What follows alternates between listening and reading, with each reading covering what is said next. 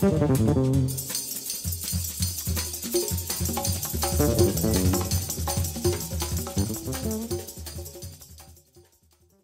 there, it's Robert Trujillo coming to you live and direct from Metallica HQ in San Rafael, California. And I'm here to tell you about Jaco Pastorius, the film.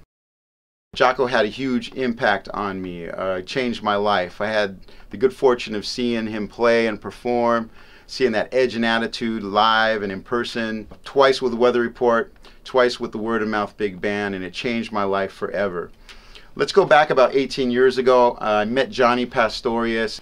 I met him down in South Florida. We became great friends. We're still great friends. I told him, you know, someday you got to make a documentary film about your father and share his story with the world. He had such an impact on so many different types of musicians, people from all walks of life. I mean, I know punk rock musicians, funk cats, uh, heavy metal guys. I mean, ranging from Carlos Santana to Ian Hunter to uh, Nathan Watts and Peter Erskine, Wayne Shorter, Sting.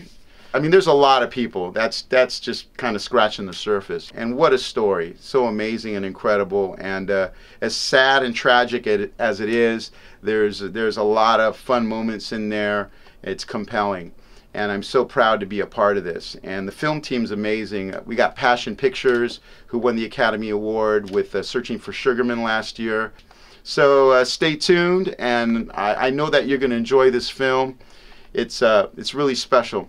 Again, let's celebrate Jaco Pastorius 2014. Get ready because it's going to be a wild ride, and uh, and you know, it, again, I'm honored to be a part of this, and I want to thank the family for this too because we've been we've been involved in this from day one, and uh, it's powerful and electric. Right on. Cheers.